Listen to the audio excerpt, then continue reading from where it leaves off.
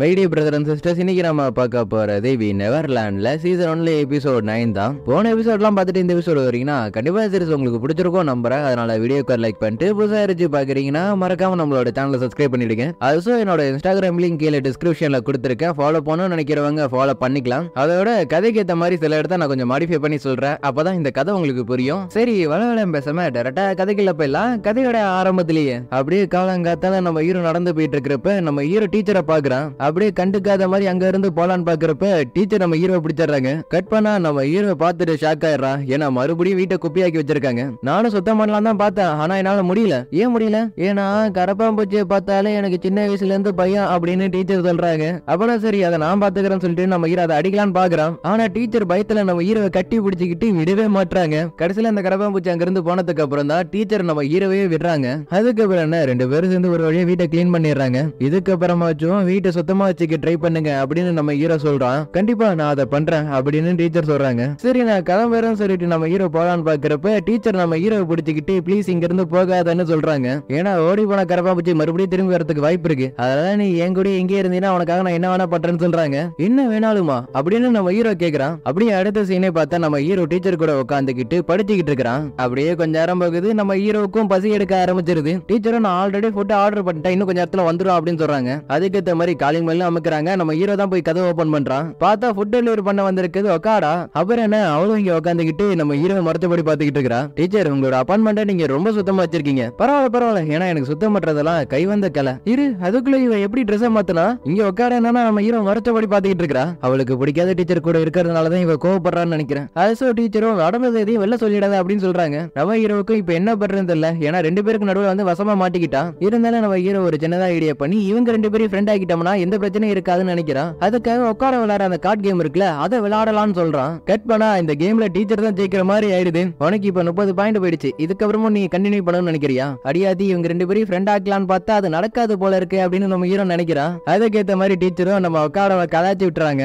அப்படியே நம்ம ஹீரோ என்ன பண்றான்னா உட்கார விட்டா பேச ஆரம்பிக்கிறான். ஏ உட்கார உனக்கு தெரியாது ஒன்னு சொல்லிட்டா. யாரோ ஒருத்தங்க உன் மேல ரொம்ப அக்கறையா இருக்காங்க. மேபி அந்த பர்சனுக்கு கூட அந்த விஷயம் தெரியாம கூட இருக்கலாம். இப்படி நம்ம ஹீரோ பேசிக்கிட்டு இருக்க இந்த விஷயத்தை இவ வேற மாதிரி புரிஞ்சுக்கிறா. ஆனா நம்ம ஹீரோ இது எல்லாத்தையும் டீச்சரை மென்ஷன் பண்ணி தான் சொல்லியிருக்கேன். டீச்சர் அவன் மேல ரொம்ப அக்கறையா இருக்காங்க. இருந்தாலும் அது ஒரு நாள் கண்டிப்பா அவங்க புரிஞ்சுப்பாங்க. ஆனா இவளோ நம்ம ஹீரோ மேல சரி கடுப்பாயிடுறா.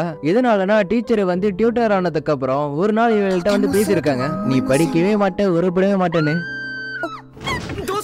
கத்தவங்களுக்கு நம்ம ஹீரோ போய் பாக்குறான் டீச்சர் நம்ம ஹீரோ கட்டி பிடிச்சிக்கிட்டு விட மாட்டாங்க டீச்சர் விடுங்க நான் போய் அந்த கரப்பாம்பூச்சி அடிக்கிறேன் இல்ல எனக்கு ரொம்ப பயமா இருக்கு. என்னடா நடக்குதுங்க அப்படின்னு உக்காரா பாக்குறா அப்படியே அந்த கரப்பாம்பூச்சி என்னன்னா இவங்களை பார்த்து வர ஆரம்பிக்குது. அதை பார்த்து உக்காராவும் என்ன பண்றான்னா அது கிட்ட வந்தவுடனே பட்டக்குன்னு அடிச்சிடுறா. உங்களுக்கு இருந்த ப்ராப்ளம் இப்ப சரியாயிடுச்சுல?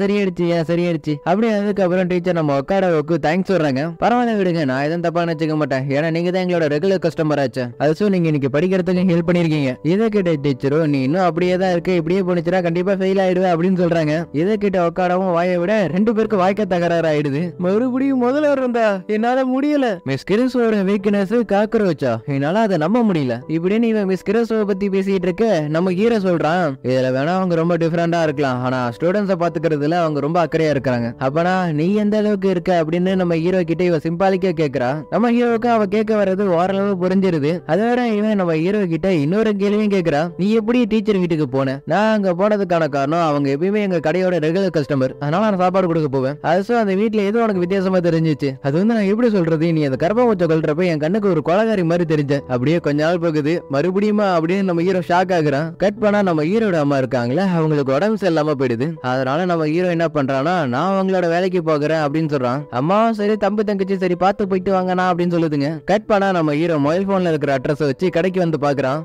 பார்த்தா என்னடா இது?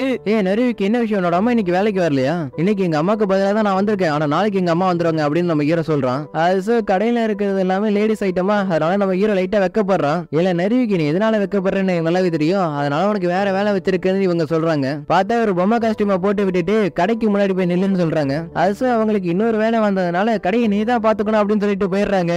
அதான் தனியா தவிக்க விட்டுட்டு போயிட்டாங்களே. இப்ப நான் எப்படி சமாளிப்பேன் அப்படின்னு நம்ம ஹீரோ நினைக்கிறான். ஆக்சுவலி இப்ப போனவங்க வந்து கடையோட மேனேஜர் ஓனர் கிடையாது. அப்படியே நம்ம ஹீரோ இங்கேயே இருக்கலாமா இல்ல போயிடலாமா அப்படின்னு யோசிக்கிறான். அது அதே நேரத்துல டாக்கிமோடவும் அக்காடவும் அந்த இடத்துக்கு வராங்க. இல்ல நான் வீட்டுக்கு போறேன். நான் ஃபரகாஷிட்ட பேசுறேன். ஆனா அவ என்னால வர முடியாதுன்னு சொல்லிவிட்டா. அப்படியே நம்ம ஹீரோ அங்க இருந்து எஸ்கேப் ஆயிலான்னு பாக்குறப்ப டாக்கிமோட நம்ம ஹீரோவை பார்த்து கூப்பிடுறா. இவளுக்கு கரெக்டான சைஸ்ல ஒண்ணு எடுத்து தர முடியுமா? ஏன்னா இவ முன்னேறதை விட நல்லாவே வளர்ந்துட்டா அப்படின்னு இவ சொல்றா. நீ டாக்கிமோட சத்த போட்டு பேசாத. அதுக்கு டாக்கிமோடவோ நம்மளை தவிர இந்த கடையில இந்த அக்கா மட்டும் தான் இருக்காங்க அப்படின்னு சொல்றான் அது நம்ம ஹீரோவும் இந்த பொம்மையை கழட்டிடலான்னு பாக்குறான். ஆனா அவனுக்கு ஜிப்பு எட்ட மாட்டேங்குது.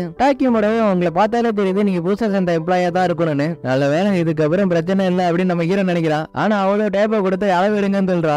ஐயோ ஐயோ ஐயோ என்னால என்ன கண்ட்ரோல் பண்ணவே முடியலையே அப்படின்னு நம்ம ஹீரோ நினைக்கிறான். அது நம்பரை பார்த்துட்டு இவளே ஷாக் ஆகுறா. ஹீரோவுக்கு இவளுக்கு பேசுறத கேட்டுட்டு தலையை சுத்த ஆரம்பிச்சிருது. ஏன்னா ஒளிவு மறைவு இல்லாம தெளிவா பேசிக்கிட்டு இருக்குங்க. டாக்கியமோடவோ அந்த சைடுல இருக்கிற ரெண்டு கலரை பாக்குறா அந்த கலரை பார்த்தவ என்ன விஷயம் தெரியல? நம்ம ஹீரோ கிட்ட கேக்குறா இதுல ரெண்டு எது எனக்கு செட் ஆகும்னு? எதனாலனா ஹை ஸ்கூல் தேர்ட் இயர் படிக்கிற பசங்களுக்கு ரெண்டு டிசைன்ல எந்த டிசைன் பிடிக்கும் அப்படின்னு கேக்குறா? ஹீரோ கொஞ்சம் இமேஜினேஷன் பண்ணி பார்த்துட்டு வெள்ளை கலர்னு சொல்லிடுறான். அப்படி இவங்க ரெண்டு பேரும் அவங்களுக்கு தேவையானதை வாங்கிக்கிட்டு அங்கிருந்து போயிடுறாங்க. அப்படி அதே நேரத்துல உள்ள இருந்து சத்தம் கேக்குது நம்ம ஹீரோ யாருன்னு பாக்குறான் பார்த்தா டீச்சரு அவங்களும் இதை கழட்ட முடியல கொஞ்சம் கழட்டுறதுக்கு ஹெல்ப் பண்ணுங்க அப்படின்னு கேக்குறாங்க. ஆனா நம்ம ஹீரோட பார்வை எங்க எங்கேயோ போகுது. டீச்சரும் என்ன அங்கேயே நிக்கிறீங்க? உள்ள வந்து எடுத்து விடுங்க அப்படின்னு சொல்றாங்க. ஹீரோவும் வேற வழி இல்லாம கண்ணை மூடிக்கிட்டு எப்படியாச்சும் அதை எடுத்து விட்டுடலாம் அப்படின்னு ட்ரை பண்றான். டீச்சரும் என்னாச்சு? ரொம்ப நேரம் எடுத்துக்கிறீங்க. ஒருவேளை நான் இந்த பிராவோட பின்ன உடைச்சிட்டேனா நல்ல வேலை கண்டுபிடிக்கல அப்படின்னு நம்ம சந்தோஷப்படுறான். டீச்சரோ நீங்க எனக்கு ஹெல்ப் பண்ணிருக்கீங்க ரொம்ப தேங்க்ஸ் சொல்றாங்க. அது மட்டும் இல்லாம எதிர்வார நேரத்துல ஒண்ணு நடந்துருது. நம்ம ஹீரோ அதை பாத்துறான் கட் பண்ணா நம்ம ஹீரோ இந்த வேலை ரொம்ப கஷ்டமா இருக்குன்னு சொல்லிட்டு புலம்பிக்கிட்டு இருக்கிறான். பரவாயில்ல இதுக்கப்புறம் யாரு வந்தாலும் பாத்துக்கலாம் அப்படின்னு நம்ம ஹீரோ நினைச்சுக்கிட்டு இருக்கு. அந்த இடத்துக்கு பிரகாஷ் வேறா